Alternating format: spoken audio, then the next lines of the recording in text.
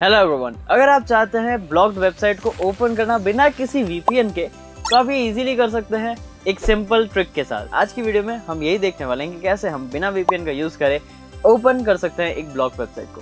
तो आपको करना क्या है? सिंपली आपको लिखना है के प्रॉक्सी गूगल पे एंड जो पहली वेबसाइट आती है, उस पर जाके अपना वो यूआरएल पेस्ट करना है जो कि ब्लॉग्ड है, यानी वो वेबसाइट जो कि ब्लॉग्ड है। एंड वहाँ आप सर्च करोगे। सर्च करते ही आपको वेबसाइट ओपन कर देगा बिना किसी वीपीएन के। तो ये बस सिंपल सी ट्रिक आपको अप्लाई करनी है। एंड आप ब्लॉग वेबसाइट एक्सेस कर सकते हैं।